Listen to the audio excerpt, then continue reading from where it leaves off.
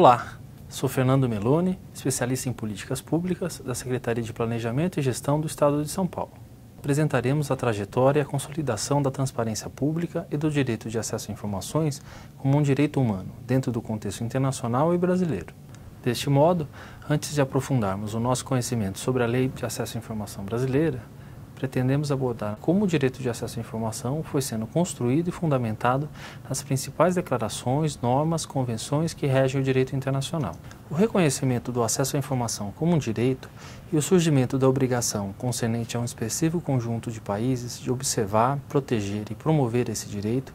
decorre de uma breve trajetória que se inicia por volta de metade do século XX e que vai se consolidando em boa parte das nações apenas a partir dos anos 90 e 2000. Trata-se, portanto, de um direito que teve a sua ampla aceitação internacional em um período muito recente. A ideia de direitos humanos universais, que fundamenta o direito de acesso à informação, por outro lado, é muito mais antiga e tem um processo de aceitação muito mais longo e complexo na história mundial. Os direitos humanos baseiam-se na ideia de uma dignidade inerente à pessoa humana, abrangente a qualquer indivíduo, independentemente de sua cor, raça, sexo ou qualquer outra condição com fundamentos religiosos antes do século 8 a.C.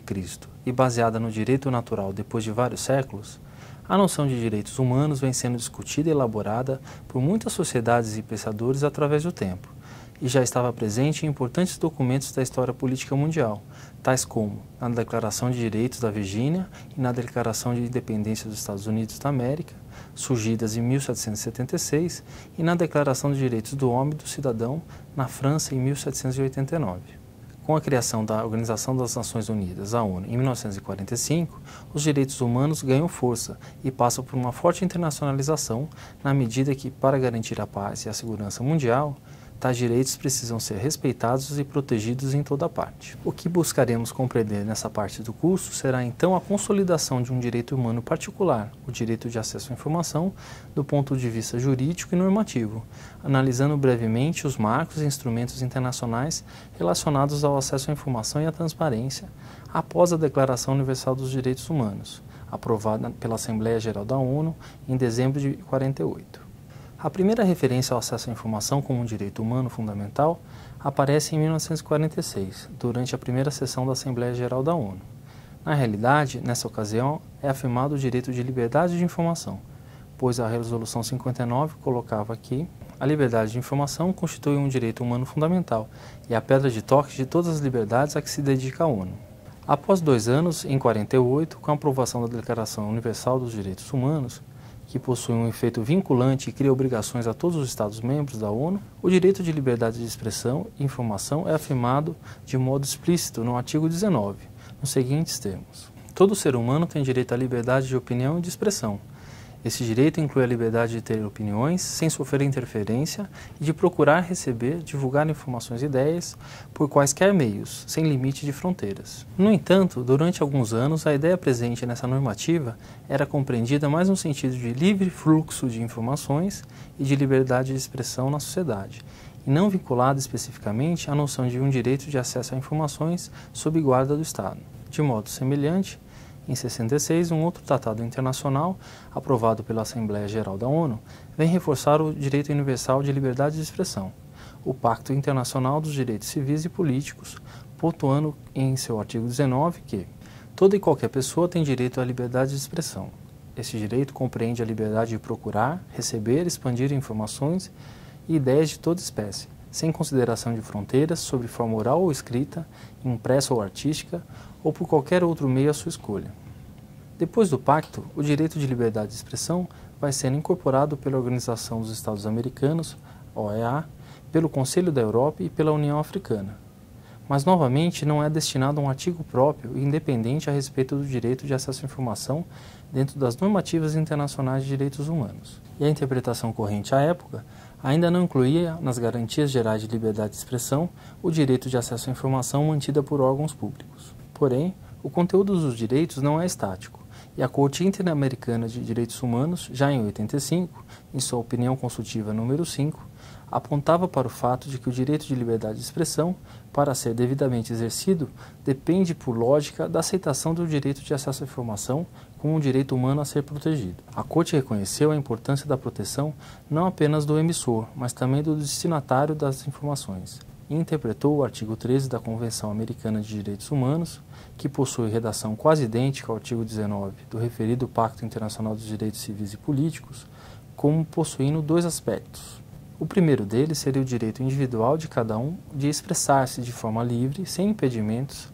e o segundo, o direito coletivo de receber qualquer tipo de informação a partir do livre fluxo de informações na sociedade. Na decisão, a Corte ponderou que para o cidadão médio é fundamental não apenas o direito de expressar a sua própria opinião, como também é essencial o direito de saber a opinião dos outros e ter acesso a informações em geral. Após esse marco, o entendimento de que o direito de acesso à informação deriva diretamente do direito de liberdade de expressão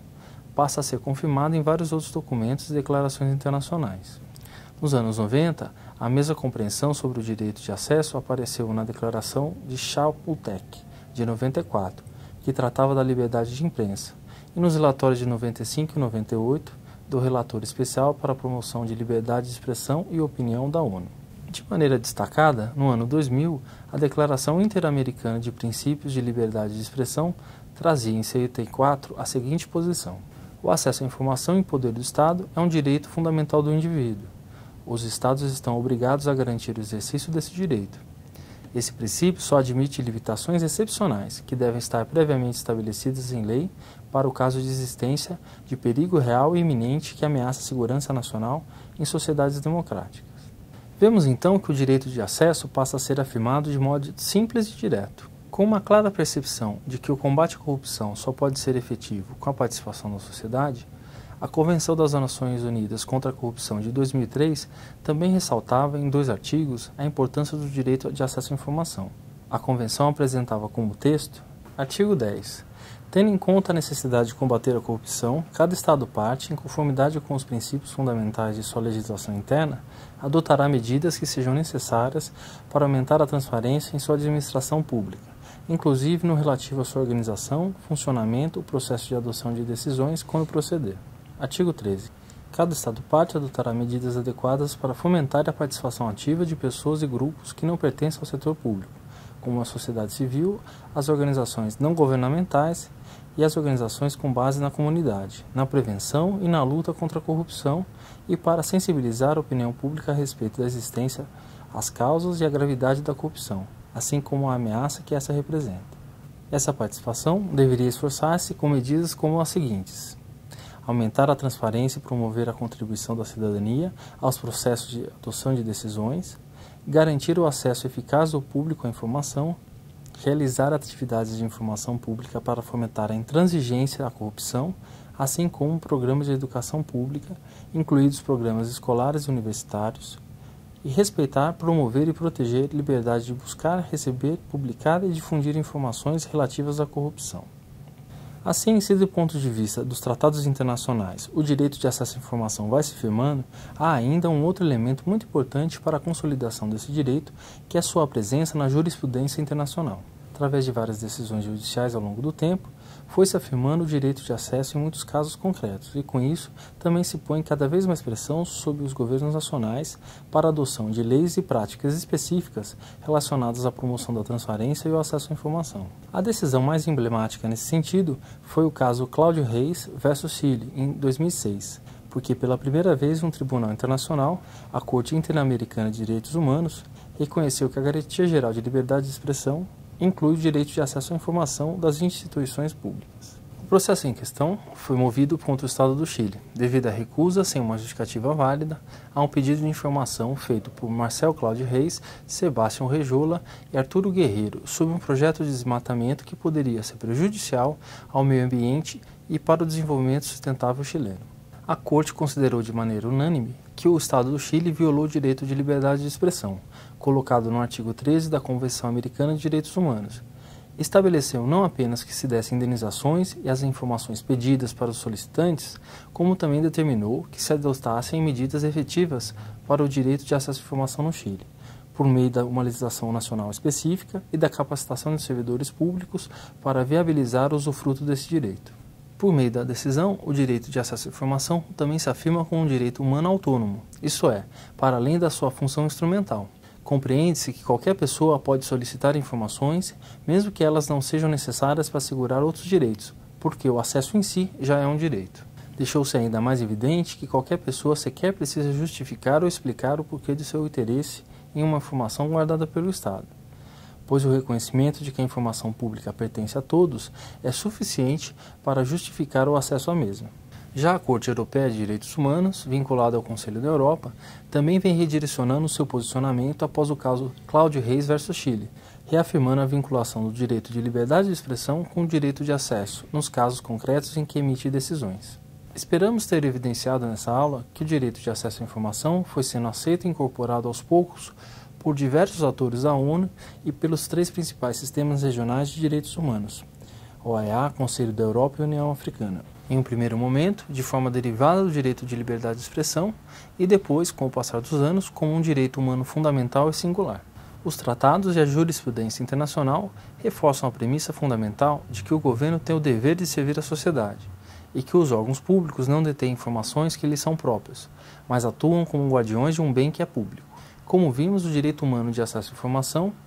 que é base tão importante da vida em sociedade e da democracia, tem um reconhecimento formal relativamente recente. Porém, esse direito já está profundamente enraizado no arcabouço jurídico internacional e em diversas constituições e leis de nações do mundo todo, incluindo o Brasil. Veremos então na próxima aula como esse direito vem sendo assegurado e desenvolvido para benefício da sociedade em importantes experiências internacionais que são referências no tema da transparência e do acesso à informação. Até a próxima aula.